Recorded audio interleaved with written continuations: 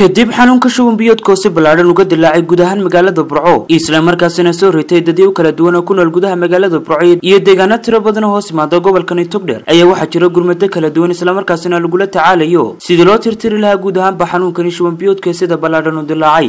Wafdi ballaadhan oo ka socotay xisbiga mucaaradka ee wadanu hogaaminaya gudoomiyaha kumeel gaadhka ee xisbigaasi. Xildhibaan cabdiqaadir jirde islamarkaasina ay wehelinayeen mas'uuliyiin heer qaran oo ka socotay xisbigani. Ayaa waxay ku wareejiyeen mas'uuliyiinta cisbitalka guud ee magaalada burco deeq daawooyinaha oo loogu talagalay in lagula tacaalo xaalada dadka bukaanka ay ku sugan cisbitalka magaalada burco uu soo ritay xanuunka shuban biyoodku. Ugu horreyntiiba wareejinta deeqdaas ayaa waxaa faahfaahin ka bixiyey. Gudoomiyaha kumeel gaadhka ee xisbiga mucaaradka ee wadani xildhibaan cabdiqaadir jirde waxaana uu yidhi. Ixtiraamaynaa hawsha culus ee hayo xuduumuhu waqti badan aan ka qaadayn waxaan idinku nimi gurmad markii warkuna soo gaadhay in hawshani hawl ka tan badan bahda caafimaadkaee togdheer waxaanu go'aansannay intii karaankaya ah. Wixii aannu heli karro annagoo xisbiga waddaniya inaannu keenno oo ku tabarrucno wax kaloo naga go'aana. Markaannu qaadannay baaxadda dhibaatadu intay leeg tahay iyo inay bahda caafimaadka ee burco ka xoog roon tahay waxaannu u soo jeedinaynaa baaq. Bahda caafimaadka ee gobollada galbeedka hadday awdal tahay iyo hadday maroodijeex tahayba iyo hadday hargeysa tahayba ee imkaaniyaadkoodu badan yahay. Ee dhakhaatiirta badani joogto ee neerska badani joogaan ee kollejska badan ee caafimaadku joogaan inay degdeg ugu soo gurmadaan gobolkan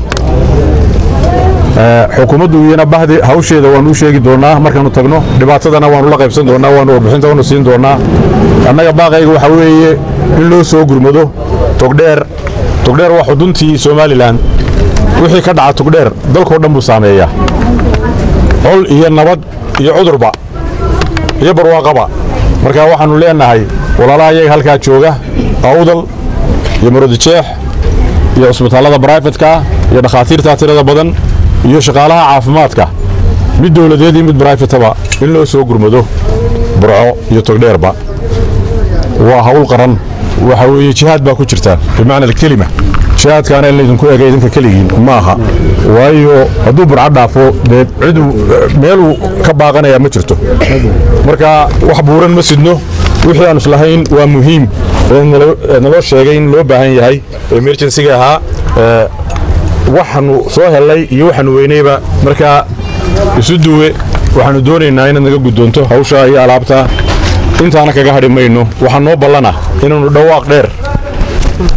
Somalilan oo dhan waxgaradkeeda culimmadeeda tishaarteeda acyaanteeda inaannu gaadhsiinno caalamkana intii dhawaaqaygu ka gaadho. Inaannu iyana u sheegno anu gaadhsiinno. Xukuumaddana waxaan ugu baaqaynaa in sidaa burca ugu dhiiratay inay xaalad degdega ku soo rogto magaalada.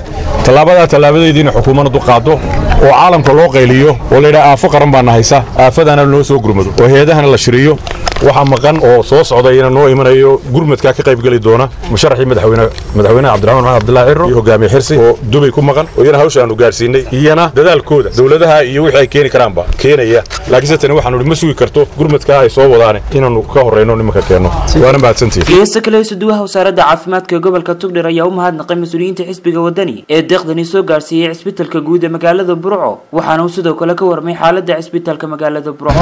Aad iyo aad ayaan ugu hadnaqayaa xoghaye maan mas'uuliyiinta karate ee ka socota xisbiga wadani ee halkan noogu yimi ee soo dadaalay ee na soo gaarsiiyey dawooyinka.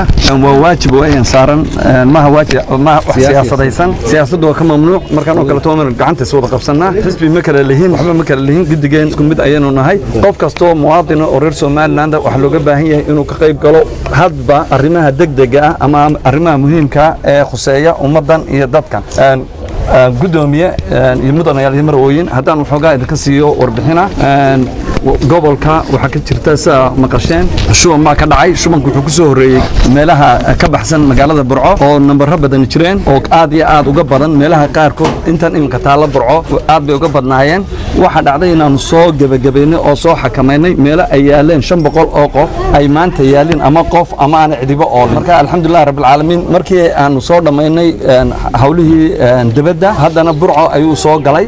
Xanuunkii iminka halkan waxaa noo yaalla meel baan uga furnay lagu daweeyo shubanbiyoodka waxaa nala jooga hay'ado dhowra. Welina wax naga go dacaayad baa jirta leeyahay solutions way ka go-een waddanka.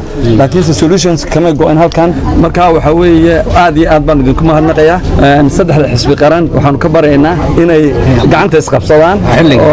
Ta kale inay inoo joojiyaan oo inaga daayaan. Xafladahan waa laga soo baxay waa laga soo galo kharashka aynu resourceka ku isticmaalo meelaha looga baahan yahay geesta kale mas'uuliyiintan ayaa waxay soo kormeereen. Bukaanada kala duwan ee cisbitalka ku jira iyagoona si gaara u soogay xaaladda. Taliya ku-xigeenkii saldhigga magaalada burco dhaawac uu ka soo gaadhay howlgal ay fulinayeen ciidamada booliisku iyo isku sawad xoriya tallaabadani u qaaday xisbiga mucaaradka wadani ee lagu taakulinaya dadka uu soo ritay xanuunka shuwan biyoodku ayaa aha tallaabo ku dayasho mudan. Waa khaalid bakayle fogaana ragga xorta star t v burco